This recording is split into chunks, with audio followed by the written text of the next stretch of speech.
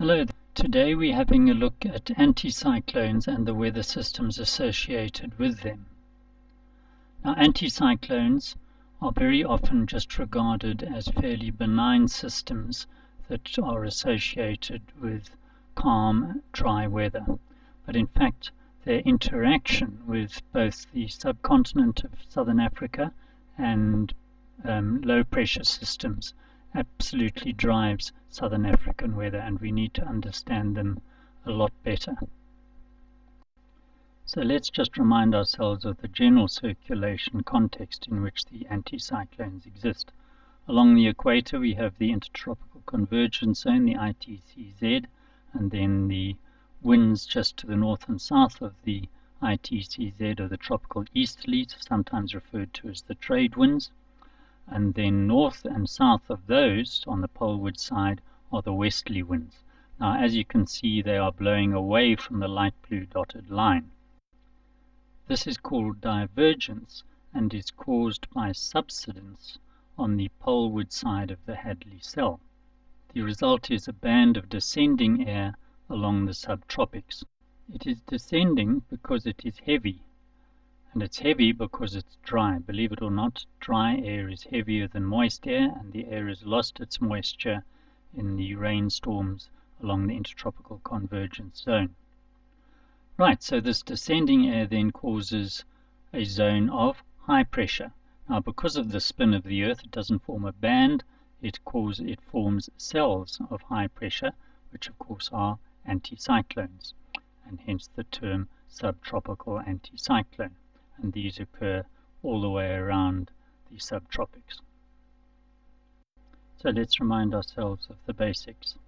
We have the South Atlantic anticyclone, the South Indian anticyclone, and of course we are told that these move north and south through the seasons, north in winter and south in summer. Now this is True, there is about a 4 or 5 degree north and south movement of the anticyclones, but in fact far more important is the east-west movement of these two systems.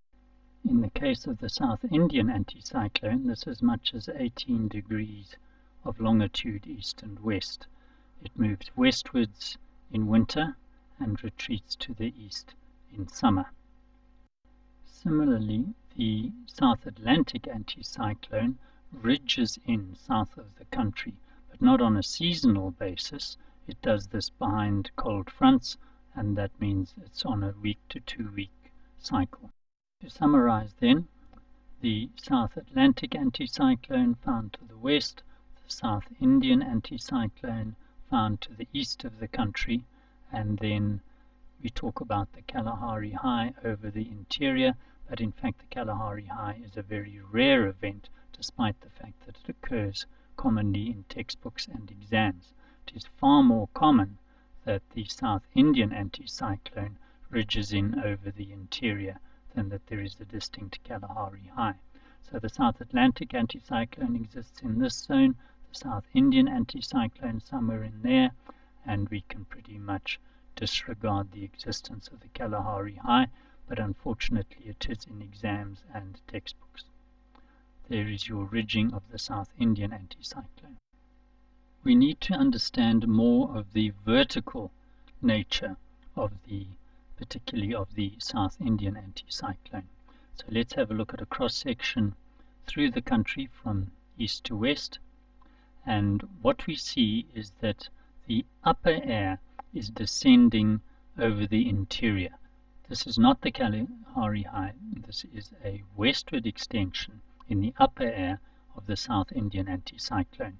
And that causes subsidence over the plateau. Now, as the air sinks, it concentrates at a level above or just below the plateau, and this causes excessive warming, and this is called a subsidence inversion. A warm layer of air forms in the subsiding air due to compression as it sinks, and this may be quite high above the plateau or it might be down at just below the plateau level, so only visible over the eastern plateau slopes. Looking at the temperature height graph of this, you see that the air cools as you go up, as you would expect, but halfway up there is an increase in temperature. This is your subsidence inversion, and that acts to block rising air. If we look at the temperature of the rising air, it cools at 1 degree Celsius per 100 meters, and this means that it is warmer than the surrounding air, so it keeps rising as the red shading indicates. When it gets to the subsidence inversion, it's cooler than the surrounding air, so it stops rising. Now this will prevent weather forming under the subsidence. However, in summer, the subsidence inversion is so high that warm Indian Ocean air is able to penetrate into the interior, and with the subsidence inversion at say 3 or 4 kilometers above the surface, it's possible for rain storms to develop. In winter, the subsidence inversion is below plateau level, and so the warm, moist Indian Ocean air doesn't even reach the interior. Okay, so let's have a look at the impact of anticyclones on a seasonal basis, starting with winter. Now, the South Indian anticyclone, as I've said previously, extends across the country in winter and we're talking about April to September here. And in that process, it is going to be advecting Indian Ocean air in in the northeast. But as we said previously, the subsidence inversion prevents that air crossing the escarpment. So what is happening? The air in the upper air is descending around the anticyclone. So what we've got around the South Indian anticyclone is descending air, surface air is blocked at the escarpment, and the net result is that you get berg wind conditions to the west of the anticyclone. Now this of course is enhanced by the presence of a mid-latitude cyclone increasing the pressure gradient. The role of the South Atlantic anticyclone in this system is to push the cold front through. So the anticyclonic circulation around the South Atlantic anticyclone, when it ridges in south of the country, is going to push polar air onto the country. Over the interior, the weather in this situation is warm and dry during the day, and because the air is dry and the sky is clear, it gets very cold. So on the synoptic chart, we will see the cold front moving across the country and the South Atlantic anticyclone ridging in behind the front and advecting polar maritime air onto the southern Cape coast behind the front. Ahead of the front it remains warm and dry and cold at night over the interior and the berg wind conditions persist on the coast. The resulting coastal low moves around the coast ahead of the front the whole system, of course, is caused by the steep pressure gradient between the South Indian anticyclone and the low pressure, and also by the ridging of the South Atlantic high south of the country. Right, just to remind ourselves, the isobars are numbered every 4 hectopascals, and there is the coastal low. Looking at the synoptic chart of this situation, there you can see the South Atlantic high ridging in south of the country. Cold front is moving off to the east, and over the interior you have warm, dry conditions with advection onto the southeast coast, which will be producing cool, rainy conditions to KwaZulu-Natal and Mpumalanga. This synoptic situation is often referred to as the right hook, with the winds blowing anti-clockwise around the South Atlantic high. Moving on to the summer synoptic chart, we have our usual culprits, the South Indian anticyclone and the South Atlantic anticyclone, but in summer we add a low pressure trough, which is an extension of the intertropical convergence zone. Now, a line drawn through the long axis of the trough is called the trough axis. Now, this is important because there is convergence east of the trough axis and divergence west of the trough axis. Now that means where there's convergence there's rising air and where there is divergence there is sinking air. And of course where there's rising air that's where you're going to get rain and where there is sinking air it's going to be warm and dry. Looking at a typical summer synoptic chart, there is our trough axis. And convergence east of the trough axis, divergence west of the trough axis. And of course, where there is convergence, you are going to get rain. And in summer, this is going to be in the form of line thunderstorms, and there'll be warm conditions west of the trough. This might seem quite straightforward, but in fact, the South Indian anticyclone, when looked at in cross section, leans across towards the west as it goes higher.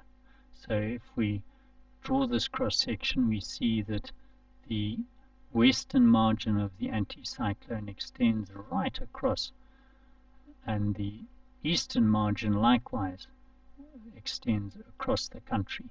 Now that means, of course, that at different levels the wind is blowing in different directions. So in the upper air, the wind is blowing from the southwest in the west and in the, from the northeast in the east at the surface. Now this is sinking air, of course, in the anticyclone. So from the southwest, you're going to get warm, dry, sinking air, and in the northeast, you're going to get moist air coming in from the coast, and this creates a moisture front. And to the east of the moisture front, then you're going to get thunderstorms developing, and the west it'll be warm and dry. Now, this is completely contrary to what many books say, where they talk about cold South Atlantic air coming in. Now that's just nonsense. There's no such thing. So um, the moisture front is created by subsiding upper air. Nothing to do with the South Atlantic anticyclone.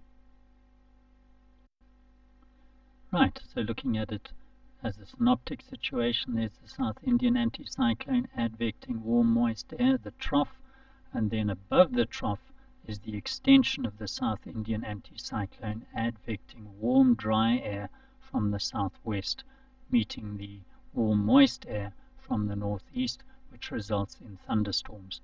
Now those thunderstorms rise up into that southwesterly airflow, so although the moisture is coming from the northeast, the thunderstorms move from the southwest in that upper air.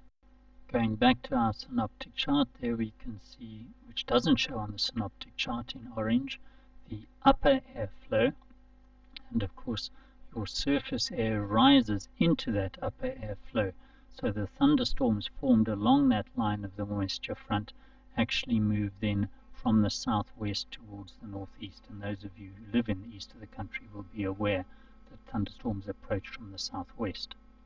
Now, just to clarify, one of the most common errors in school texts, you often see them saying that the moisture front is caused by cool South Atlantic air meeting warm, moist air to the north. This is absolutely wrong.